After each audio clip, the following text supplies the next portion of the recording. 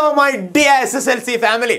മക്കളെ അടിപൊളിയായിട്ട് നമ്മൾ ഇത് രണ്ടാമത്തെ നമ്മുടെ ചാപ്റ്ററിൽ ഒന്നാമത്തെ ചാപ്റ്റർ ആയിട്ടുള്ള റെവല്യൂഷൻസ് ദാറ്റ് ഇൻഫ്ലുവൻസ് ദ വേൾഡിലെ രണ്ടാമത്തെ ടോപ്പിക് ആയിട്ടുള്ള ഫ്രഞ്ച് റെവല്യൂഷൻ നോക്കാൻ പോവാണ്. ഏതാണ്? ഫ്രഞ്ച് റെവല്യൂഷൻ നമ്മൾ നോക്കാൻ പോവാണ്. വളരെ സിമ്പിൾ ആയിട്ട് വളരെ സിമ്പിൾ ആയിട്ട് നമുക്ക് എങ്ങനെ ഈ ഫ്രഞ്ച് റെവല്യൂഷൻ പഠിച്ചെടുക്കാൻ നോക്കാം. നമ്മൾ അമേരിക്കൻ റെവല്യൂഷൻ കണ്ടതുപോലെ കാണാത്തവരുണ്ടെങ്കിൽ പോയി കാണുക കേട്ടോ. അതുപോലെ കൃത്യമായിട്ട് ഫ്രഞ്ച് റെവല്യൂഷൻ നമുക്ക് എങ്ങനെ സിമ്പിൾ ആയിട്ട് പഠിച്ചെടുക്കാൻ പറ്റും എന്നാണ് നമ്മൾ നോക്കാൻ പോകുന്നത്. ഇത്രയുള്ള വളരെ സിമ്പിൾ ആയിട്ടുള്ള കോൺസെപ്റ്റും കാര്യങ്ങളൊക്കെ ഉള്ളൂ. നമുക്ക് പരീക്ഷയ്ക്ക് വന്നു എങ്ങനെ നമുക്ക് അതിനെ അറ്റംപ്റ്റ് ചെയ്യാൻ പറ്റും എന്നുള്ളത് ഈയിടെ ഏറ്റവും ഇമ്പോർട്ടന്റ് ആയിട്ടുള്ള കാര്യമാണ്. നോക്കിയാൽ മക്കളെ question will be like this എന്താണ്? What is the role of French revolutions and simple ആയിട്ട് പറഞ്ഞ ക്വസ്റ്റ്യൻ ഒന്നും വായിക്കേണ്ട. മക്കൾ വായിച്ചാൽ മതി. ഇത്രയേ ഉള്ളൂ. ഫ്രഞ്ച് റവല്യൂഷൻ അറിയാമോ? എന്റെ മക്കൾക്ക് ഫ്രഞ്ച് റവല്യൂഷൻ നന്നായിട്ട് അറിയാമോ എന്നുള്ളതാണ് ഈ ക്വസ്റ്റ്യന്റെ കഥാതന്തു. അത്രേ ഉള്ളൂ. എന്താണ് ഉദ്ദേശിക്കുന്നത്? നിങ്ങൾ നന്നായിട്ട് പഠിച്ചിട്ടുണ്ടോ? ഫ്രഞ്ച് റവല്യൂഷന്റെ കോൺസെപ്റ്റ് എല്ലാം നിങ്ങൾക്ക് അറിയാവോ? വർഷങ്ങളെല്ലാം എന്റെ മക്കളെ മനസ്സിലുണ്ടോ? എന്നതൊക്കെയാണ് ഇവിടെ ചോദിക്കുന്നത്. ഓക്കെ അങ്ങനെയാണെങ്കിൽ അങ്ങനെയാണെങ്കിൽ നമുക്ക് അമേരിക്കൻ റവല്യൂഷൻ എങ്ങനെ നമ്മൾ നോക്കിയോ?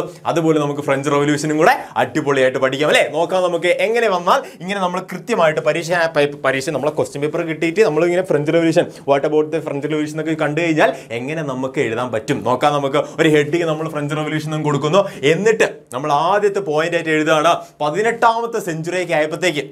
ഓക്കെ പതിനെട്ടാമത്തെ സെഞ്ചുറിയൊക്കെ ആയപ്പോഴത്തേക്ക് ഫ്രാൻസ് ഭരിച്ചിരുന്ന കുറച്ച് രാജാക്കന്മാരുണ്ടായിരുന്നു. ഏതാ രാജാക്കന്മാരുടെ പേര്? അവിടെ നിങ്ങൾ പറയാം ഏതാ? ബേബൻ ഡൈനാസ്റ്റിയാണ് ബേബൻ കിങ്സ് ആണ് ആ ഫ്രാൻസ് ഭരിച്ചുകൊണ്ടിരുന്നത് നമുക്കത് എഴുതി വെക്കാം അല്ലെ? നോക്കിയാൽ ഒന്നാമത്തെ പോയിന്റ് എന്ന് പറയുന്നത് പതിനെട്ടാമത്തെ സെഞ്ചുറി ഒക്കെ ആയപ്പോഴത്തേക്ക് എയ്റ്റീൻത്ത് സെഞ്ചുറി അല്ലേ? എയ്റ്റീൻത്ത് സെഞ്ചുറി എന്ന് പറയുമ്പോൾ ഏകദേശം സെവന്റീൻ എയ്റ്റി നയനിലേക്കാണ് ഫ്രഞ്ച് റവല്യൂഷൻ വരുന്നത്. അപ്പൊ എന്താണ്? പതിനെട്ടാമത്തെ സെഞ്ചുറി ഒക്കെ ആയപ്പോഴത്തേക്ക് അവിടെ ഭരിച്ചുകൊണ്ടിരുന്നത് എവിടെയാണ്? ഫ്രാൻസിൽ ഭരിച്ചുകൊണ്ടിരുന്നത് ആരാ സാറെന്ന് ചോദിച്ചു കഴിഞ്ഞാൽ മക്കൾക്ക് ആൻസർ കൃത്യമായിട്ട് പറയാൻ പറ്റണം. അത് ഭരിച്ചുകൊണ്ടിരുന്നത് ബേർബൺ എന്നാണ്. ബോർബോൺ എന്നൊന്നുമല്ല ബേർബൺ ഡൈനാസ്റ്റി അല്ലെങ്കിൽ ബേർബൺ മൊണാർക്കി എന്ന് എഴുതി വെക്കാം കേട്ടോ രാജഭരണം. ഓക്കെ ഇങ്ങനെ ബേബൺ കിങ്സ് അവിടെ നല്ല അടിപൊളിയായിട്ട് ഭരിച്ചുകൊണ്ടിരിക്കാൻ പറയാൻ പറ്റുമോ പറ്റൂല അല്ലേ? എന്താണ് ബേർബൺ മൊണാർക്കി എന്ന് പറഞ്ഞിട്ടുള്ള ലക്ഷ്യൂറിയസ് ആയിട്ടുള്ള ലൈഫും ദൂർത്തമായിട്ടുള്ള ലൈഫും അതുപോലെ ആളുകളെ ചൂഷണം ചെയ്ത് ജീവിക്കുന്ന രാജാക്കന്മാരായിരുന്നു ബേർബൺ ഡൈനാസ്റ്റി ബേർബൺ മൊണാർക്കിയിൽ ഉണ്ടായിരുന്ന ബേർബൺ കിങ്സ് ആയിട്ടുണ്ടായിരുന്ന ലൂയി പതിനാലാമൻ പതിനാറാം എന്നൊക്കെ നമ്മൾ പഠിക്കും. ഓക്കെ അങ്ങനെ നോക്കുന്ന ബേർബൺ കിങ്സിന്റെ ആ ഒരു സമയത്ത് ഫ്രാൻസിനെ മൊത്തത്തിൽ ഫ്രഞ്ച് സൊസൈറ്റീനെ ഫ്രഞ്ച് സമൂഹത്തെ മൊത്തത്തിൽ എന്തുണ്ട്? മൂന്നായിട്ട് ക്ലാസിഫൈ ചെയ്തിട്ടുണ്ട്. നോക്കണ്ടേ ഏതൊക്കെയാന്നുള്ളത്? മൂന്ന് രീതിയിൽ ഫ്രഞ്ച് സമൂഹത്തെ ഫ്രഞ്ച് സൊസൈറ്റീനെ മൂന്ന് രീതിയിൽ അവർ ക്ലാസിഫൈ ചെയ്തിട്ടുണ്ടായിരുന്നു. അത് കൃത്യമായിട്ട് മക്കൾക്ക് ഇവിടെ പറയാൻ പറ്റണം. ഓക്കെ ഇത്രയേ ഉള്ളൂ. ഒന്നാമത്തത്. ഒന്നാമത്തെ ആൾക്കാർ എന്ന് പറയുന്നത് ക്ലേർജീസ് ആണ്. സർ ക്ലേർജി എന്ന് പറഞ്ഞു കഴിഞ്ഞാൽ പുരോഹിതന്മാരാണ്. ആരാണ്? പുരോഹിതന്മാർ. അപ്പൊ രണ്ടാമത്തതോ രണ്ടാമത്തെന്ന് പറഞ്ഞു കഴിഞ്ഞാൽ നോബിൾസ് ആണ്. മൂന്നാമത്തത് മിഡിൽ ക്ലാസ് ആണ് കേട്ടോ അത് നിങ്ങൾ ഓർത്ത് വെക്കേണ്ട കാര്യമാണ്. രണ്ടാമത്തത് നോബിൾസ് നോബിൾസ് എന്ന് പറഞ്ഞു കഴിഞ്ഞാൽ ആ പ്രഭുക്കന്മാർ വയറൊക്കെ ചാടിയിട്ട് അല്ലേ? പ്രഭുക്കന്മാരുണ്ട്. അപ്പൊ സ്വാഭാവികമായിട്ട് ഇവർ തിന്ന് തിന്ന് അതായത് ഈ സാധാരണക്കാരായിട്ടുള്ള ആളുകളുടെ പൈസ വാങ്ങിച്ചിട്ട് ദൂർത്ത ദൂർത്ത ജീവിതം നയിച്ചുകൊണ്ടിരിക്കുന്ന ആളുകളായിരുന്നു ഈ ക്ലർജീസും അതുപോലെ തന്നെ എന്താണ്? ഈ നോബിൾസും എന്ന് പറഞ്ഞിട്ടുള്ള ആളുകൾ. നോബിൾസ് എന്ന് പറഞ്ഞാൽ പ്രഭുക്കന്മാർ എന്നാട്ടോ അർത്ഥം വരുന്ന നോബിൾസ് അതുപോലെ എല്ലാം സഹിച്ചുകൊണ്ടൊരു ടീം ഉണ്ടായിരുന്നു. ഒരു എസ്റ്റേറ്റ് ഉണ്ടായിരുന്നു മിഡിൽ ക്ലാസ് അപ്പോൾ നമ്മൾ സാർ എസ്റ്റേറ്റ് എന്നൊക്കെ പറഞ്ഞു കഴിഞ്ഞാൽ ആ ഫ്രഞ്ച് സമൂഹത്തെ അന്ന് വിളിച്ചിരുന്നത് അന്ന് ക്ലാസിഫൈ ചെയ്തിരുന്നത് മൂന്ന് എസ്റ്റേറ്റുകളായിട്ടാണ് ഒന്നാമത്തെ എസ്റ്റേറ്റിൽ ക്ലർജീസും രണ്ടാമത്തെ എസ്റ്റേറ്റിൽ നോബിൾസും മൂന്നാമത്തെ എസ്റ്റേറ്റിൽ മിഡിൽ ക്ലാസ് മിഡിൽ ക്ലാസ് എന്ന് പറഞ്ഞാൽ സാധാരണക്കാരായിട്ടുള്ള ആളുകൾ ടീച്ചേഴ്സ് വക്കീലന്മാർ അങ്ങനെ കുറേ കുറേ സാധാരണക്കാരായിട്ടുള്ള ആളുകളുള്ള ആ ഒരു ഒരു എസ്റ്റേറ്റിനെയാണ് എന്ത് വിളിക്കുന്നത്? മിഡിൽ ക്ലാസ് എന്ന് പറയുന്നത്. മധ്യവർഗം എന്ന് മലയാളത്തിൽ പറയും അല്ലേ?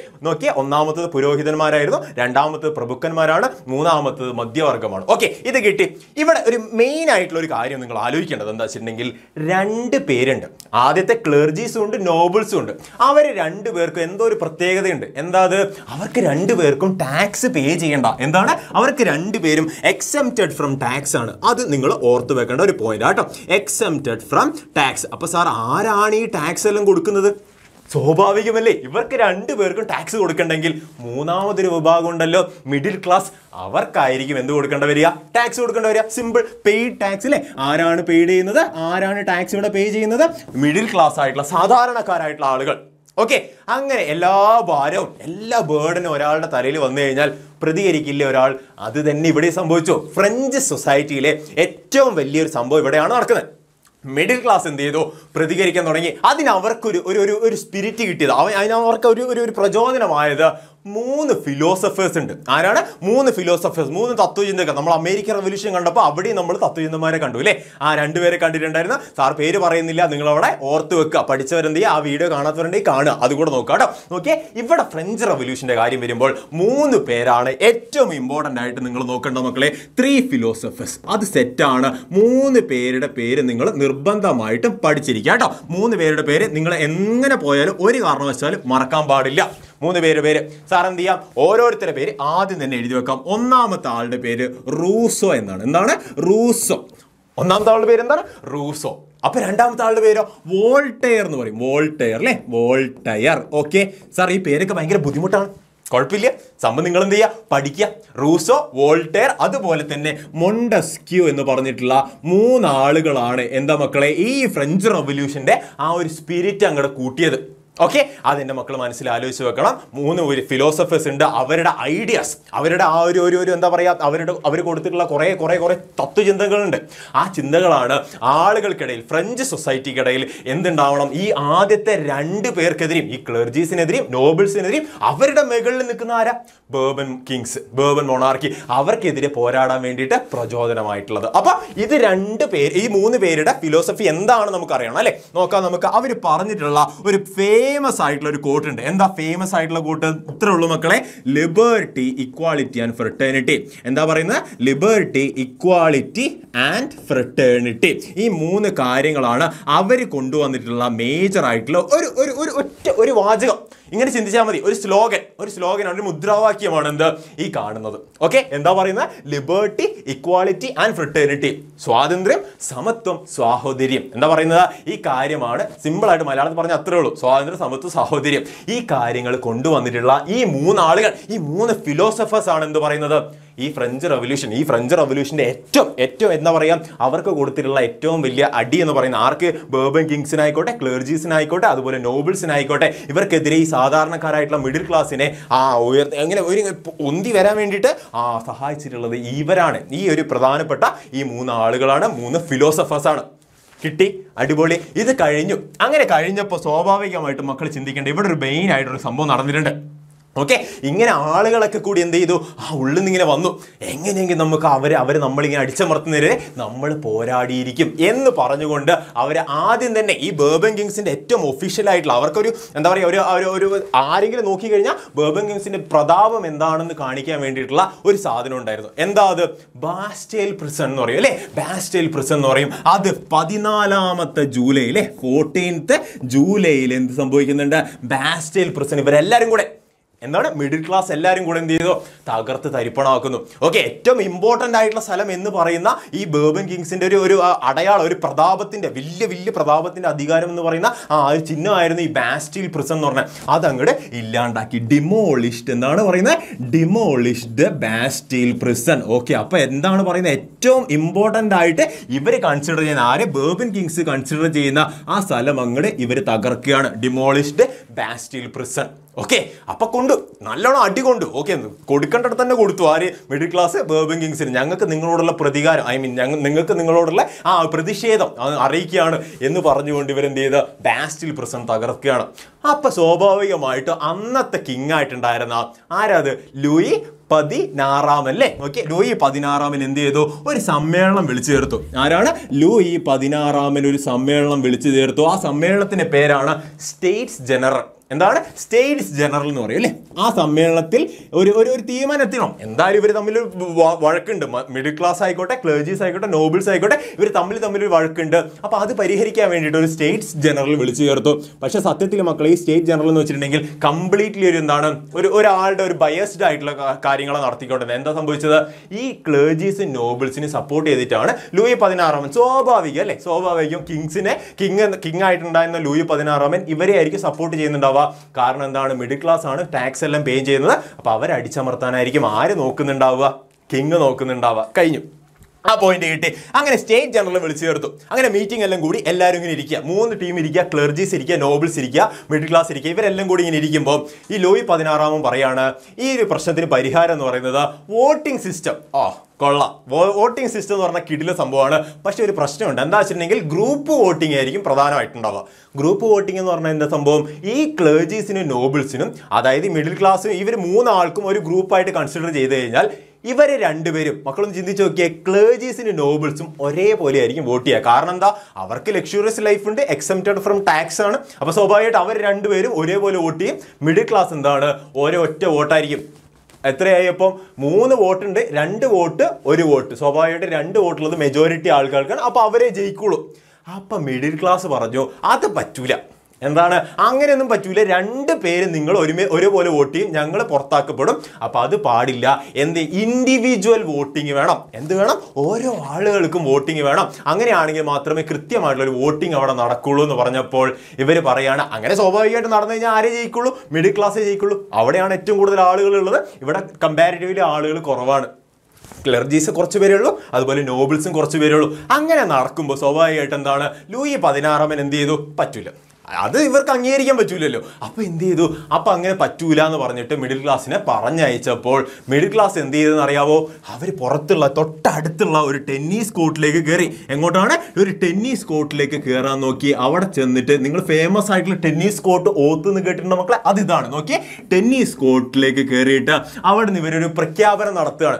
ഇനി മുതൽ ഫ്രാൻസിന്റെ നാഷണൽ അസംബ്ലി എന്താണ്? നാഷണൽ അസംബ്ലി എന്ന് പറയുന്നത് ഞങ്ങളാണ്. ആരാണ്? മിഡിൽ ക്ലാസ് ആയിട്ടുള്ള ആളുകളാണ് നാഷണൽ അസംബ്ലി എന്ന് പറയുന്നത്. ഓക്കെ നാഷണൽ അസംബ്ലി ആയിട്ട് പ്രഖ്യാപിക്കുകയാണ്. സ്വയം പ്രഖ്യാപിച്ചു. ഫ്രാൻസിന് മുതൽ എന്താണ്? ഇവിടെ ഞങ്ങളാണ് മിഡിൽ ക്ലാസ് ആണ് നാഷണൽ അസംബ്ലി. ഞങ്ങളാണ് റെപ്രസെന്റേറ്റീവ്സ് ഞങ്ങളാണ് എല്ലാം എന്ന് ആര് പറയാണ്? മിഡിൽ ക്ലാസ് പറയാണ്. കിട്ടിയ ഐഡിയ അങ്ങനെ പറഞ്ഞിട്ടുള്ള ദാറ്റ് ഡിക്ലറേഷൻ ആ ഒരു സംഭവത്തിനെയാണ് എന്ന് പറയുന്നത്? ടെന്നീസ് കോർട്ട് ഓത്ത് എന്ന് പറയുന്നത്. ടെന്നീസ് കോർട്ട് ഓത്ത് എന്ന് പറയുന്നത്. മറന്നു പോകരുത് കേട്ടോ. ഇത് എപ്പോഴാണ് നടന്നിട്ടുള്ളത്? ഇത് നടന്നിട്ടുള്ളത് സെവന്റീൻ എയ്റ്റി നയനിലാണ് സർ ഫ്രഞ്ച് റവല്യൂഷൻ നടന്നിട്ടുള്ളത് എപ്പോഴാണ്? സെവന്റീൻ എയ്റ്റി നയനിലാണ് ഇവിടെ നിങ്ങൾ ആലോചിക്കേണ്ടത് ഫോർട്ടീൻത്ത് ജൂലൈയിലാണ്. ഇനി വരാൻ പോകുന്നത് കൃത്യമായിട്ട് ഇത് കഴിഞ്ഞു. ഇത് കഴിഞ്ഞപ്പോൾ ടെന്നീസ് കോർട്ട് ഓത്തൊക്കെ പറഞ്ഞു നാഷണൽ അസംബ്ലിയൊക്കെ ഇവർ ക്രിയേറ്റ് ചെയ്തു. അതിനുശേഷം ഇവരെന്ത് ചെയ്തു മക്കളെ? കൃത്യമായിട്ട് പറയുകയാണെങ്കിൽ രണ്ട് മാസത്തിന് ശേഷം നോക്കി രണ്ട് രണ്ട് മാസത്തിന് ശേഷം ഫോർട്ടീൻത്ത് ജൂലൈ കഴിഞ്ഞു. അടുത്ത ട്വൽത്ത് ഓഗസ്റ്റ് ആയപ്പം രണ്ട് മാസം അല്ല ഒരു മാസം അല്ലേ? ജൂലൈ ആണ് ഇവിടെ ജൂലൈ ആണ് അടുത്ത ഓഗസ്റ്റ് ആണ് സ്വാഭാവികമായിട്ടും ഒരു മാസമാണ്. സോ ഓക്കെ ഓക്കെ കിട്ടി. നമ്മൾ നോക്കിയ മക്കളെ ട്വൽത്ത് ഓഗസ്റ്റ് ആയപ്പോഴത്തേക്ക് സിമ്പിൾ ആണ്. ട്വൽത്ത് ഓഗസ്റ്റ് ആയപ്പോഴത്തേക്ക് ഇവർ ഒരു ഡിക്ലറേഷൻ പാസ്സാക്കുകയാണ് എന്താണ്? ഒരു ഡിക്ലറേഷൻ പാസ്സാക്കുകയാണ് എന്താണ് ഡിക്ലറേഷന്റെ പേര്? ഡിക്ലറേഷൻ ഓഫ് ഇവിടെ എഴുതാം അല്ലേ? Yes declaration of declaration of citizen rights of citizen അല്ലേ? Rights of rights of citizen and men okay അത് കിട്ടി. സിറ്റിസൺ ആൻഡ് മെൻ ഈ ഒരു പോയിന്റ് നിങ്ങൾ ഓർത്ത് വെക്കണം മക്കളെ. എന്താ? ട്വൽത്ത് ഓഗസ്റ്റിന് ഒരു ഡിക്ലറേഷൻ പാസ്സാക്കുകയാണ്. റൈറ്റ്സ് ഓഫ് മെൻ അതായത് സിമ്പിളായിട്ട് പറഞ്ഞാൽ ആളുകളുടെ അവകാശവും അതുപോലെ തന്നെ സിറ്റിസൺസ് പൗരന്മാരുടെ അവകാശങ്ങളൊക്കെ കാണുക എന്ന് പറഞ്ഞുകൊണ്ട് ഒരു ഡിക്ലറേഷൻ അവർ പാസ്സാക്കുകയാണ്. ആര് പാസ്സാക്കി? നാഷണൽ അസംബ്ലി ആയിട്ട് പ്രഖ്യാപിച്ചിട്ടുള്ള തേർഡ് ഓക്കെ മക്കളെ മിഡിൽ ക്ലാസ് അല്ലേ തേർഡ് എസ്റ്റേറ്റ് ആയിട്ടുള്ള മിഡിൽ ക്ലാസ് പാസ്സാക്കുകയാണ് ചെയ്യുന്നത്. ഓക്കെ അത് കിട്ടി. എന്റെ മക്കൾക്ക് അത് കിട്ടിയെങ്കിൽ വളരെ സിമ്പിൾ ആയിട്ട് എന്ത് ചെയ്യുക അടുത്തൊരു പോയിന്റ് നോക്കുക ഇത്രയും കഴിഞ്ഞു. മേജർ ആയിട്ടുള്ള ഇവന്റ് എല്ലാം കഴിഞ്ഞു. അങ്ങനെ കുറച്ച് കാലം കഴിഞ്ഞു. കുറച്ച് കാലം കഴിഞ്ഞപ്പോൾ സെവന്റീൻ എയ്റ്റി നയനിലെ എല്ലാ സംഭവങ്ങളും കഴിഞ്ഞു. അങ്ങനെ തേർഡ് അതായത് മിഡിൽ ക്ലാസ് ആയിട്ടുള്ള തേർഡ് എസ്റ്റേറ്റ് എന്ത് ചെയ്തു? നാഷണൽ അസംബ്ലി ആയിട്ട് പ്രഖ്യാപിച്ചു. അതിനുശേഷം മക്കളെ ആയിരത്തി എഴുന്നൂറ്റി എൺപത്തി ഒൻപതൊക്കെ ആയപ്പോഴത്തേക്ക് എപ്പോഴാണ്? ആയിരത്തി എഴുന്നൂറ്റി എൺപത്തി ഒമ്പത് കഴിഞ്ഞു. ആയിരത്തി എഴുന്നൂറ്റി തൊണ്ണൂറ്റി ഒമ്പതൊക്കെ ആയപ്പോഴത്തേക്ക് അല്ലേ? ആയിരത്തി എഴുന്നൂറ്റി തൊണ്ണൂറ്റി ഒമ്പതൊക്കെ ആയപ്പോഴത്തേക്ക് ഒരാൾ വരികയാണ്. ആരാത് ആരാത് നെപ്പോളിയൻ എന്ന് പറഞ്ഞിട്ടുള്ള ആൾ ആരാത് നെപ്പോളിയൻ എന്ന് പറഞ്ഞിട്ടുള്ള ഒരു വ്യക്തി വരികയാണ്. സ്വാഭാവികമായിട്ട് ഇവിടെ നിങ്ങൾ ആലോചിക്കേണ്ടത് നെപ്പോളിയന്റെ ഫുൾ നെയിം മക്കൾ എന്ത് ചെയ്യുക? കമന്റ് ചെയ്യണം കേട്ടോ. മറക്കരുത്. നെപ്പോളിയൻ എന്ന് പറഞ്ഞിട്ടുള്ള ആളുടെ ഫുൾ നെയിം ഒരു ബി വെച്ചിട്ട് സ്റ്റാർട്ട് ചെയ്യുന്നതാണ് നെക്സ്റ്റ് പേര്. ഓക്കെ ഫൈൻ നെപ്പോളിയൻ എന്ന് പറഞ്ഞിട്ടുള്ള ഒരാൾ വരികയാണ്. ഇവിടെ വേറെ ഒന്നും ആലോചിക്കേണ്ട. നിങ്ങൾ വേറെ ഒന്നും ആലോചിക്കേണ്ട. നിങ്ങൾ എന്ത് ചെയ്യുക? നെപ്പോളിയൻ കൊണ്ടുവന്നിട്ടുള്ള റിഫോംസ് മാത്രമാണ് ഇമ്പോർട്ടന്റ് ആയിട്ട് വരുന്നത്. അത് നിങ്ങൾ ജസ്റ്റ് ഒന്ന് ഓർത്ത് വെക്കുക. റിഫോംസ് ബൈ നെപ്പോളിയൻ എന്തൊക്കെയാണ് റിഫോംസ് സാർ ജസ്റ്റ് ഒന്ന് വേഗം പറഞ്ഞു പോവാം. എന്താണ് ട്രാൻസ്പോർട്ട് ട്രാൻസ്പോർട്ടേഷനിൽ വ്യത്യാസം വരുത്തി ബാങ്ക് ഓഫ് ഫ്രാൻസ് കൊണ്ടുവന്നു. അതുപോലെ അഗ്രികൾച്ചർ ലാൻഡ് ഒക്കെ എന്ത് ചെയ്തു? അഗ്രേറിയൻസിന് കൊടുത്തു. ഫ്യൂഡൽ സിസ്റ്റത്തിൽ നിന്ന് അവരുടെ കയ്യിൽ നിന്ന് പിടിച്ചെടുത്തിട്ട് സാധാരണ ആളുകൾക്ക് കൊടുത്തു. ഇങ്ങനത്തെ കുറേ കാര്യങ്ങൾ കുറേ മാറ്റങ്ങളൊക്കെ നെപ്പോളിയൻ കൊണ്ടുവന്നിട്ടുണ്ടായിരുന്നു. ഇങ്ങനത്തെ ഈ ഒരു റിഫോംസ് എന്താണെന്ന് മാത്രം ജസ്റ്റ് എന്റെ മക്കളൊന്ന് ഓർത്തിരുന്നാൽ മാത്രം മതി. വേറെ ആ ഭാഗത്തൊന്നും നോക്കേണ്ട കാര്യമില്ല. പക്ഷേ ഒരു പ്രശ്നമുണ്ടല്ലേ? ആയിരത്തി എഴുന്നൂറ്റി തൊണ്ണൂറ്റൊമ്പത് ആയപ്പോഴത്തേക്ക് നെപ്പോളിയൻ കിരീടാവകാശിയായി ഫ്രാൻസിന്റെ പക്ഷേ ഒരു ആയിരത്തി എണ്ണൂറ്റി പതിനഞ്ചൊക്കെ ആയപ്പോഴത്തേക്ക് എപ്പോഴാണ്? ആയിരത്തി എഴുന്നൂറ്റി പതിനഞ്ചൊക്കെ ആയപ്പോൾ സോറി ആയിരത്തി എഴുന്നൂറ്റി തൊണ്ണൂറ്റൊമ്പത് കഴിഞ്ഞ്. ആയിരത്തി എണ്ണൂറ്റി പതിനഞ്ചൊക്കെ ആയപ്പോഴത്തേക്ക് എന്ത് സംഭവിച്ചു? വാട്ടർലൂ എന്ന് പറഞ്ഞ സ്ഥലത്ത് വെച്ചിട്ട് എന്താണ്? വാട്ടർലൂ എന്ന് പറഞ്ഞ സ്ഥലത്ത് വെച്ചിട്ട് നെപ്പോളിയൻ പരാജിതനാവുകയാണ്. ആരോട്? ബ്രിട്ടീഷിന്റെ അലയൻസിനോട്. ബ്രിട്ടീഷുകാർ ഒരു അലയൻസ് ഒക്കെ ക്രിയേറ്റ് ചെയ്തിട്ടുണ്ടായിരുന്നു. അവരുടെ മുന്നിൽ ആര് തോറ്റുപോയിട്ടുണ്ടായിരുന്നു? നെപ്പോളിയൻ തോറ്റുപോയിട്ടുണ്ടായിരുന്നു. അപ്പോൾ അതും കൂടെ ജസ്റ്റ് ഒന്ന് മനസ്സിലാക്കി നോക്കുക ഇത്രയേ ഉള്ളൂ. ഫ്രഞ്ച് റവല്യൂഷൻ എന്താണെന്ന് ചോദിച്ചു കഴിഞ്ഞാൽ മക്കൾ ഇത്രയും ആലോചിച്ചാൽ മതി. മേജർ ആയിട്ടുള്ള എല്ലാ ഈവന്റ്സ് ഇവിടെ പറഞ്ഞിട്ടുണ്ട്. അപ്പോൾ ഫ്രഞ്ച് റവല്യൂഷൻ കിട്ടി കഴിഞ്ഞിട്ടുണ്ടെങ്കിൽ അതിന്റെ ആഫ്റ്റർ എഫക്ട്സ് മാത്രം ജസ്റ്റ് ഒന്ന് നോക്കി പോയാൽ മതി. ഇവിടെ സാർ ഒന്നും കൂടെ ജസ്റ്റ് മക്കളോട് പറഞ്ഞു പറഞ്ഞുതരാം പതിനെട്ടാമത്തെ സെഞ്ചുറിയൊക്കെ ആയപ്പോഴത്തേക്ക് പതിനെട്ടാമത്തെ സെഞ്ചുറിയൊക്കെ ആയപ്പോഴത്തേക്ക് ആരാ ഫ്രാൻസ് ഭരിച്ചുകൊണ്ടിരുന്നത് ബെർബൻ മൊണാർക്കി ആയിരുന്നു. ആരാണ്? ബേർബൻ മൊണാർക്കി ആയിരുന്നു. ഫ്രഞ്ച് സൊസൈറ്റി അവരുടെ കീഴിലുണ്ടായിരുന്ന ഫ്രഞ്ച് സൊസൈറ്റി എന്ന് പറയുന്നത് മൂന്നായിട്ട് ക്ലാസിഫൈ ചെയ്തിട്ടുണ്ടായിരുന്നു. ക്ലേജീസ് എന്നും അതുപോലെ തന്നെ നോബിൾസ് എന്നും മിഡിൽ ക്ലാസ് എന്നും മൂന്നായിട്ട് തരംതിരിച്ചിട്ടുണ്ടായിരുന്നു. ഇവരുടെ പ്രത്യേകത എന്ന് വെച്ചിട്ടുണ്ടെങ്കിൽ ക്ലേജീസും നോബിൾസിനും ആ ടാക്സ് കൊടുക്കേണ്ട കാര്യമില്ല. ടൈത്ത് ടൈൽ എന്നൊക്കെ പറഞ്ഞ് കുറേ ടാക്സ് ഇല്ലേ?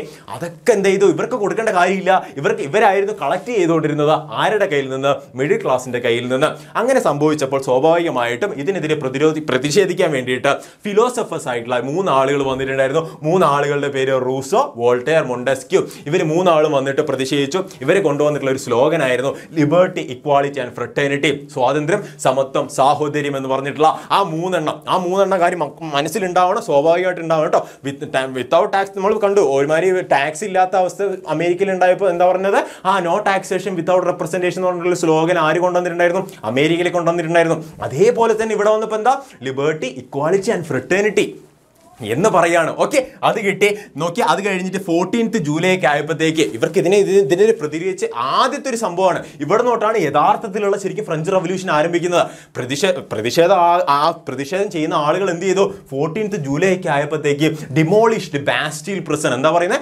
ബാസ്റ്റിൽ പ്രസൻ ആ ബോബൻ കിങ്സിന്റെ ബോബൻ ഡൈനാസ്റ്റിയുടെ ഏറ്റവും ഏറ്റവും ആദരിക്കുന്ന അവരുടെ ഏറ്റവും മെയിൻ ആയിട്ടുള്ള സ്ഥലമായിരുന്നു എന്താണ്? ബാസ്റ്റിൽ പ്രസൻ അവരുടെ രാജകീയമായിട്ടുള്ള പ്രൗഢി കാണിക്കുന്ന ഒരു സ്ഥലമായിരുന്നു ബാസ്റ്റീൽ പ്രസൻ എന്ന് പറയുന്ന അതിനങ്ങോട്ട് തകർത്ത് കഴിഞ്ഞപ്പോൾ അവരങ്ങ് ഞെട്ടിപ്പോയി. അപ്പം എന്ത് ചെയ്തു? ലൂയി പതിനാറാമൻ അന്നത്തെ കിങ് ആയിരുന്ന ലൂയി പതിനാറാമൻ ഒരു സ്റ്റേറ്റ് ജനറൽ വിളിച്ചു ചേർത്തു. ആ സ്റ്റേറ്റ് ജനറലിന് പ്രകാരം ഗ്രൂപ്പ് വോട്ടിങ്ങിന് അവർ വാദിച്ചു. ആര് വാദിച്ചു? ഈ നോബിൾസും ക്ലേജീസൊക്കെ വാദിച്ചപ്പോൾ മിഡിൽ ക്ലാസ് പറഞ്ഞു മധ്യവർഗം പറഞ്ഞു പറ്റൂല ഞങ്ങൾക്ക് എന്ത് വേണം? ഇൻഡിവിജ്വൽ വോട്ടിംഗ് വേണം. പക്ഷേ ലൂയി പതിനാറാമൻ അതിന് സമ്മതിച്ചില്ല. അപ്പോൾ എന്ത് ചെയ്തു? തൊട്ടടുത്ത് കണ്ട ടെന്നീസ് കോർട്ടിലേക്ക് പോയിട്ട് മിഡിൽ ക്ലാസ് എന്ത് ചെയ്തു? ഒരു ഡിക്ലറേഷൻ പാസ്സാക്കാണ് ഞങ്ങളാണ് നാഷണൽ അസംബ്ലി ഫ്രാൻസിന്റെ ഇനി മുതൽ ഞങ്ങളാണ് ഇവിടെ ഭരിക്കുന്നത് എന്ന് പറഞ്ഞുകൊണ്ട് ഒരു നാഷണൽ അസംബ്ലി കൊണ്ടുവരികയാണ് സെവന്റീൻ എയ്റ്റി നയൻ വർഷം ആലോചിച്ച് വെക്കുക കേട്ടോ. അതിനുശേഷം നോക്കിയ മക്കളെ ഇവിടെ കൃത്യമായിട്ട് ഫോർട്ടീൻത്ത് ജൂലൈയിൽ ഡിമോളിഷൻ ഓഫ് ബാസ്റ്റിൽ പ്രശ്നം സംഭവിക്കുന്നുണ്ട്. തൊട്ടടുത്ത മാസം ട്വൽത്ത് ഓഗസ്റ്റിന് എന്ത് സംഭവിക്കുന്നുണ്ട്? Declaration of rights of citizen and men എന്ന് പറഞ്ഞിട്ടുള്ള ആ ഒരു ഡിക്ലറേഷൻ അവർ പാസ്സാക്കുകയാണ്.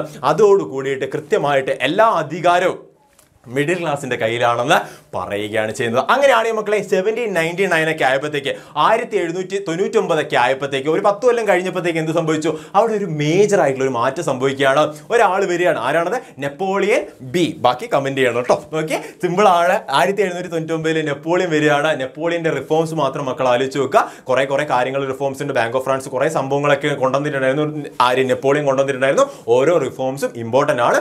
പഠിച്ചു വെക്കണം കേട്ടോ. നോക്കിയ മക്കളെ അങ്ങനെ വന്നു. പക്ഷേ ആയിരത്തി എണ്ണൂറ്റി പതിനഞ്ചൊക്കെ ആയപ്പോഴത്തേക്ക് വാട്ടർലൂ എന്ന് പറഞ്ഞ സ്ഥലത്ത് വെച്ചിട്ട് നെപ്പോളിയൻ പരാജയപ്പെടുകയാണ് ബ്രിട്ടീഷുകാരുടെ അലയൻസ്. ഒരു ഒരു ഒരു കൂട്ട സഖ്യം ഉണ്ടാക്കിയിട്ടുണ്ടായിരുന്നു ബ്രിട്ടൻകാർ അവരെന്ത് ചെയ്തു അവർ നെപ്പോളിയനെ പരാജയപ്പെടുത്തുകയാണ് ചെയ്യുന്നത്. അപ്പോൾ ഇത്രയൊക്കെയുള്ള ഫ്രഞ്ച് റവല്യൂഷൻ എന്താണെന്ന് ചോദിച്ചു കഴിഞ്ഞാൽ വളരെ സിമ്പിളായിട്ട് എഴുതാൻ പറ്റണം. ഇത്രയൊക്കെയുള്ളൂ സിമ്പിളാണ് അടിപൊളിയായിട്ട് പഠിക്കാം. നമുക്ക് നന്നായിട്ട് പോവാം. ഇതുപോലുള്ള കിട്ടിലുമായിട്ടുള്ള വീഡിയോസ് കിട്ടാൻ വേണ്ടിയിട്ട് നിങ്ങൾ എന്ത് ചെയ്യുക നമ്മുടെ ലക്ഷ്യ ബാച്ചിൽ ജോയിൻ ചെയ്താൽ അത് എവിടെ നമ്പർ ഉണ്ട്? നിങ്ങൾ ജോയിൻ ചെയ്യുക അടിപൊളിയാക്കുക സെറ്റാക്കുക നമുക്ക് ഒരുമിച്ച് പഠിക്കാം.